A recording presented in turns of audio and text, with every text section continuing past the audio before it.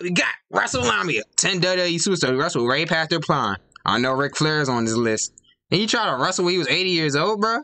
He took one punch and time out, time out, another punch, time out, time out. 10 WWE I think he had like a, a stroke mid match.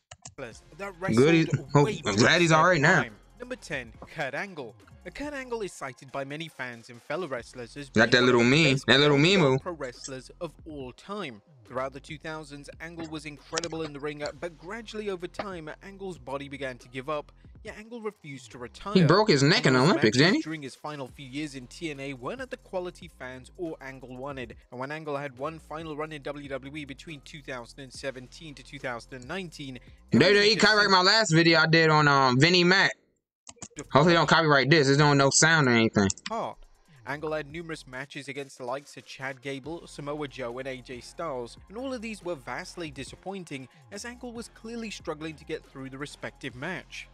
When Angle eventually retired at WrestleMania 35, fans were officially ready to see Angle get put out of his misery, and the match with Baron Corbin highlighted that Angle should have called it a day a long time ago. Whilst these last few years weren't favourable to Angle, this ultimately didn't hinder his legacy one bit, as he was still beloved and celebrated by fans and his peers. It was just a case of everyone wanting Angle to ride off into the sunset with his aura and credibility intact. Number 9, The Big Show. Well, The Big Show all the credit in the world for delivering on. Unfortunately, all good things must come to an end, and around 2014, the fan perception of The Big Show began to shift. Big Show's character and in-ring work regressed significantly, and this led to fans turning on him.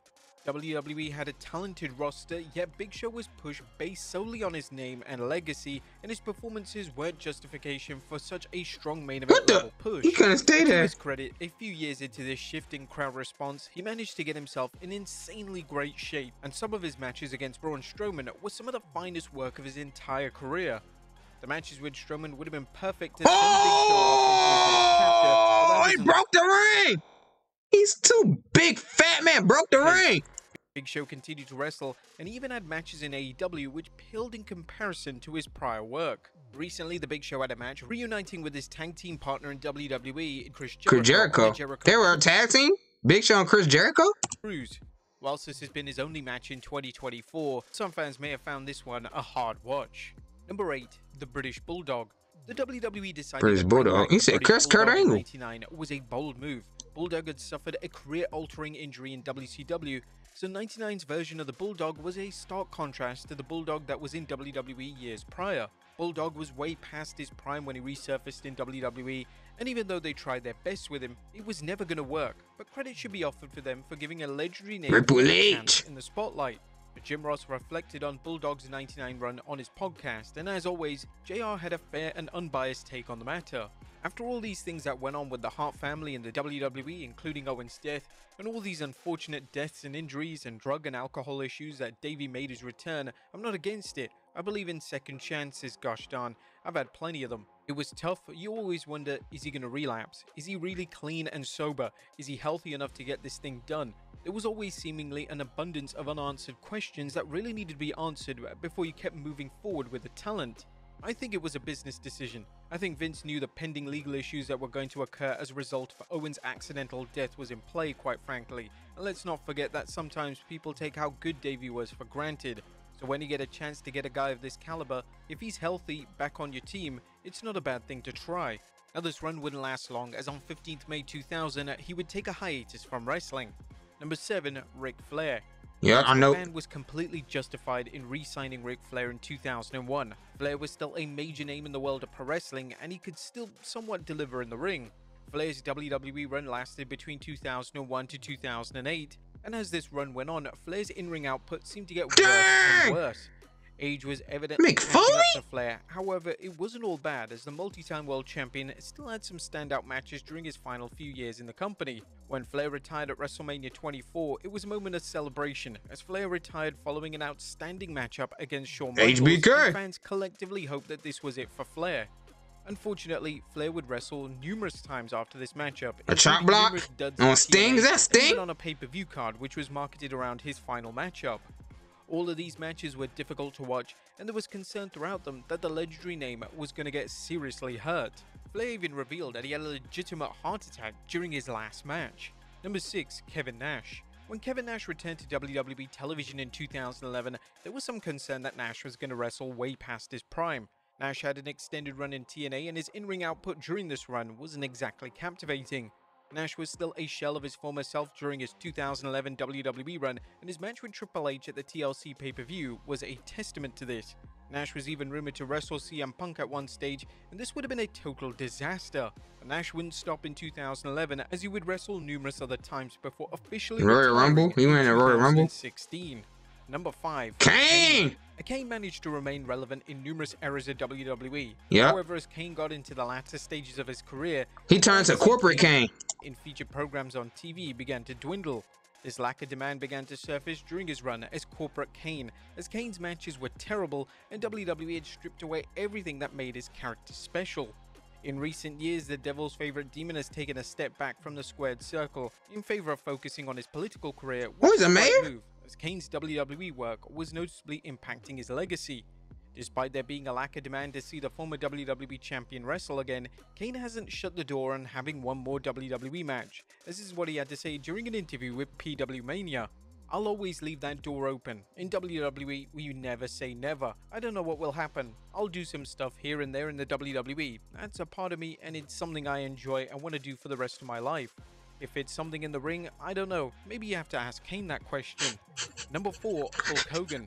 Hulk Hogan was a name that just Hulk Hogan still wrestles? it a day. Hogan had numerous opportunities to retire on top, yet he Bro, he dyed his hair black. just didn't know when to call it a day. I Hogan thought he had a blonde beard. I ain't know. I thought I didn't know his hair was black. He dyed his mustache and his hair. Or I guess his hair is blonde and his beard is grew.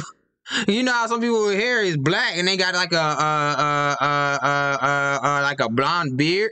He dyed his mustache blonde, or he dyed his beard black. One of to retire on top, yet he couldn't resist coming back for another run time and time I know he grew a beard and it was black. Throughout the 2000s left a lot to be desired, as outside of some bright moments, Did the Rock just hit an RKO? Bro, the Rock hit an RKO. with his long-term injuries, and this limited his mobility in the ring. Hogan would even wrestle in TNA, which was an unpleasant visual to say the very least. Why Hogan felt the need to wrestle in the company was never clear, but it completely exposed Hogan and it never should have happened. Hogan last wrestled back in 2012 in a live event match for TNA, and believe it or not, Hogan has never officially retired. It was rumored that Hogan was going to win the annual Andre the Giant Memorial Battle Royal a few years back, so it's clear that Hogan has no intentions of hanging up the red and yellow indefinitely. Number 3, Goldberg. Goldberg, you're next. Never been a name known for his in-ring skills. But this didn't mean that Goldberg always had poor matches, as that simply isn't the case. But when Goldberg had his second WWE run, it became more obvious that Goldberg couldn't hang with the modern roster. Goldberg had the perfect reintroduction to WWE as his match and subsequent squash of Brock Lesnar at 2016 Survivor Series marked a supposed iconic end to the character. Unfortunately, WWE brought the former world champion back time and time again, and they even put the Universal title on him twice. This was something that there was no demand for, and Goldberg's performance didn't warrant a world title win. Uh, Goldberg had some true stinkers during this second run, and worse of them was his I was the uh, uh, uh when they're in a Thunderdome. Uh, Goldberg had some The WrestleMania. stinkers during this second At the. Performance Center. of them was his infamous match with The Undertaker. This was a match in which Goldberg dropped the dead man right on his head, and it was a miracle that both men were able to walk out of the ring. Goldberg has stated publicly that Russell WrestleMania. Sponsored by Fat I know you bet on sports, baby. that he's open to wrestling again, and whilst nobody can stop Goldberg from competing again, maybe it's time that he enjoyed his retirement in peace and stayed out of the squared circle. Number 2, Mick Foley. A 2000 was the year in Mick which Foley. Mick Foley initially That man had three different personalities. It was Mick Foley, Cactus Jack, and um Dude Love. Foley wrestled Triple H inside a Hell in That's where Travis Scott got the Cact- Cactus Jack from. Um, Mick Foley. set to be it for the wrestling megastar. However, this initial retirement lasted a matter of weeks as Foley returned to be a key part of the build to WrestleMania 16. Following this reappearance, Foley wrestled numerous matches for the WWE that were unofficially labeled as retirement matches. There were Why sad jump like that? Foley wrestling names such as Carlito and Jonathan Coachman. Foley should have without a doubt stopped Dude wrestling either the 2004 Classic against Randy Orton or the 2006 Hardcore Masterpiece against Oh yeah, Mankind. He had Mick Foley, Mankind, Cactus Jack, and Dude Love. Mankind got the little. Yeah, that's Mankind's move. Bug and couldn't resist carrying He put his finger in your mouth. Foley left WWE, he even wrestled several matches for TNA. And TNA What the hell is TNA? Move even put their world title on him. Bear in mind, TNA had names such as Kurt Angle, AJ It's like the big three. It's like the it's like the retirement league for the wrestlers or something. TNA, That's like the retirement. retire- what is this? Somehow they believe that Foley winning their world title was the correct like the big three. Foley wrestling for years on end. Like it is for the NBA, before retired NBA players? Really affected his legacy, as Foley is still an.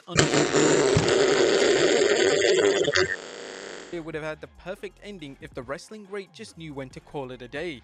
And number one, The Undertaker. WrestleMania 33 was a perfect night for The Undertaker to retire. The dead man had done everything in the industry, and now it was time for him to bow out in style. Ultimately, the match with Roman Reigns was so disappointing that he decided to have several more matches. Some of these were decent, yet unfortunately, some of them represented the worst work of his entire career, as he just couldn't deliver like he used to.